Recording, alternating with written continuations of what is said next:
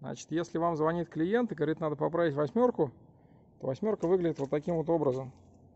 То есть, ну это ладно еще, да, там. Это может быть похоже на восьмерку, конечно. На небольшую. Не знаю, сможем ли мы ее поправить, я что-то сомневаюсь. Но вот такие вот восьмерки нам приносят, ой-ой-ой, прям достаточно часто. То есть это колесо Карлсона, скорее всего. Поправишь такой, нет? Это называется косая плоскость. Да.